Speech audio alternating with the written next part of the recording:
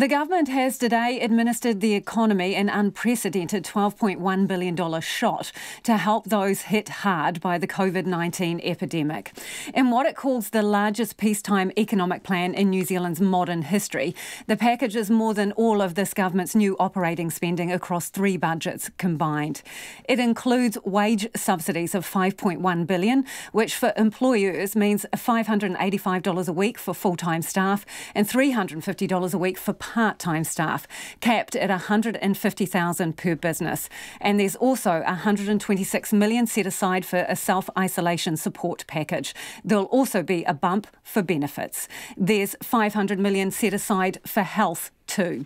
Checkpoint will be staying on air until 7 o'clock tonight for analysis of today's announcement. After six, we'll be joined by Westpac Chief Economist Dominick Stephens, First Union's Tali Williams, and business consultant Phil O'Reilly. We'll also hear throughout the program from businesses and employees across New Zealand. But first, let's speak to the Finance Minister, Grant Robertson, who joins us now live from our gallery studio. Good evening, Minister. How many jobs do you think this will save? Oh, look, I hope it saves plenty. The reality, though, is that none of us can actually answer that question at this stage. What the, particularly the wage subsidy package is about, is giving employers time to readjust to the new normal that we're in, uh, to make sure that they can um, keep staff in place. But the answer directly to that question is just not one that anyone can give. We do know that New Zealanders will lose their jobs as a result of this coronavirus situation. What we have tried to do day is cushion the blow of that. What are the experts telling you about how many job losses to expect? Look, again, the advice that we've had is that the impact of this overall coronavirus will be worse than the global financial crisis. In the global financial crisis, unemployment reached around 6.7%. We're at 4% at the moment, so you can start to do the maths there. But I'm loath to give a number when I simply don't have that information. So, best case scenario, you really just, and you've used these words, to looking to cushion the blow, aren't you? Not prevent it. Indeed, indeed. and and I got to be straight up with New Zealanders here. Every sector of the economy is going to be affected by this. Because we don't know how long the impacts of the virus are going to last, it's very difficult to say exactly what that impact will be. But what we're saying to New Zealanders today is that we are here, and it's not just the wage subsidy, Lisa, it's also the tax changes we've made, it's also the changes to benefits and the winter energy payment and so on. So we've got a package here, and it's not the end of the road in terms of government support either. We have the budget coming, um, which I have said will be a recovery budget, and I also reserve the right to be able to do more things between now and then as they're needed. Do you anticipate you will have to do something before the budget? Um, there may be some instances where we do need to. Um, you know, we know that there are some large and complex businesses in New Zealand where clearly our wage subsidy scheme is not going to be able to help them. They will be in conversations with their banks as we speak. We, in turn, are in conversation with the banks as well. What kind um, of businesses are you talking about, Minister? Oh well, you know there are large. You know when you've got a one hundred and fifty thousand dollar cap, clearly for you know businesses with a large number of employees, um, that is not going to be enough for them. Um, we want to be able to work alongside those. Their first port of call will be their bank, obviously, um, but this is going to affect every part of the economy. Looking at that isolation fund, I was interested in the detail there. So it's based on twenty seven thousand workers being in isolation for every two week cycle for eight weeks. You're talking about a hundred. 100,000 plus workers. Is that the Poten- worst case scenario? Potentially, yes. I mean, as in all of these um, schemes, what we've set out here to do is set some criteria, and then we have to ask officials who have been working round the clock over the last couple of weeks to come up with an estimate of the number of people. It would be fair to say that those estimates have had to be fairly rough and ready. The point here is the criteria of the scheme is clear. If people meet it, then the money will be paid out. But the 100,000 plus workers potentially going into isolation is the middle ground, isn't it? Because you have said in that document it could go higher. Well, exactly. And the point is, we don't know exactly. What we're saying is, here is the criteria for a scheme. And I guess what really has concerned us here is that there are a group of workers for whom they won't be able um, to necessarily self isolate easily, particularly for economic um, terms. You know, some people who may be asked to self isolate, they might think, well, you know, can I actually do that? Can I afford that? It's those people for whom the scheme is aimed at.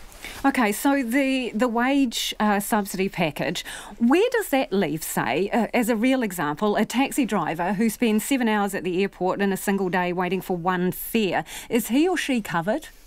Yes. And so they would just make an, an application, what, as a sole trader? Absolutely. Or? Absolutely. Sole traders and self employed are covered. And in fact, the very people we're worried about here in many cases are those people. You know, the vast majority of New Zealand businesses, the only employee is the sole trader. And so we, are, we have organised both the wage subsidy scheme and the provisions around self isolation to include them. So where is this 12.1 billion coming from? Is any of it repurposed? Is it all new and borrowed?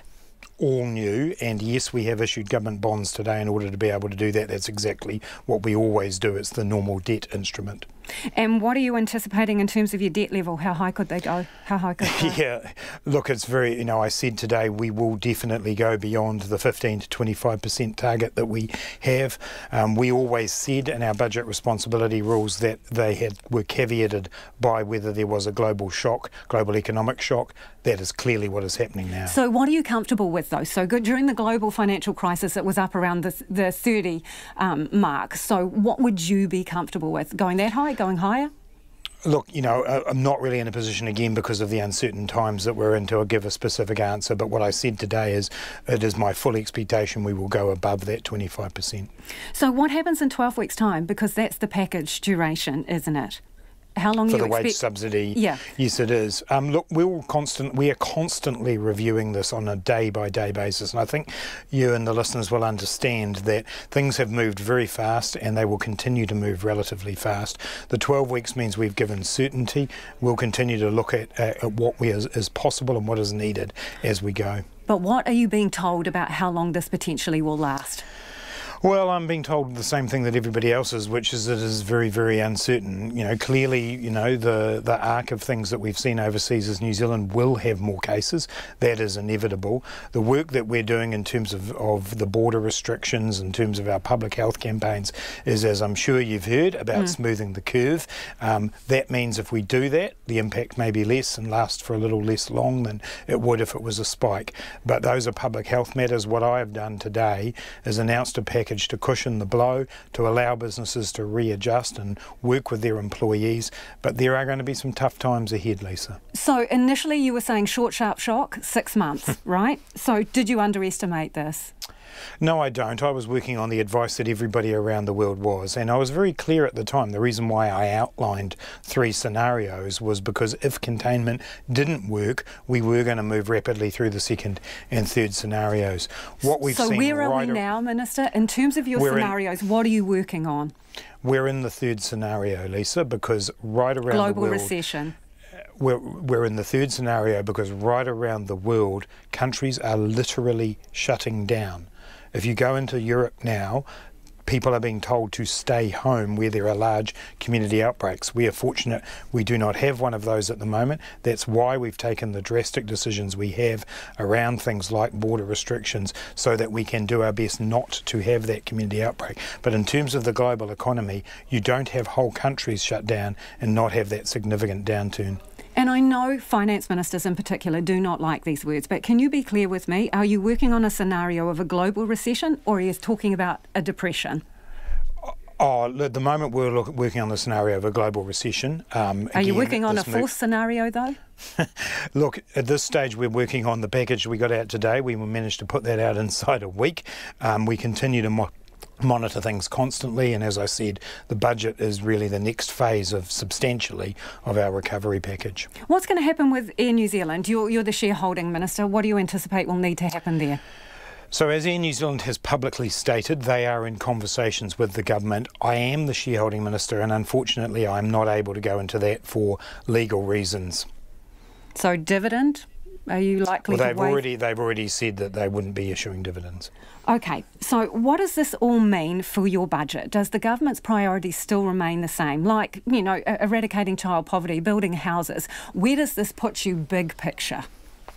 Yeah, look, that's exactly the, the process we're now going through. Obviously, when you're putting a budget together, we'd reached the point where we had made a number of firm decisions. I've now asked ministers to go back and look at all of them to make sure that we have a budget that is aligned to the recovery um, around COVID 19. But quite clearly, making sure we lift children out of poverty making sure that we build houses, making sure that we look after our families. Those are important things in any time, and we will continue to pursue those, those objectives because actually they're part of helping New Zealand recover. Okay, so the 500 million that is earmarked to go into health resources, how is that going to be distributed? And who makes so, those decisions?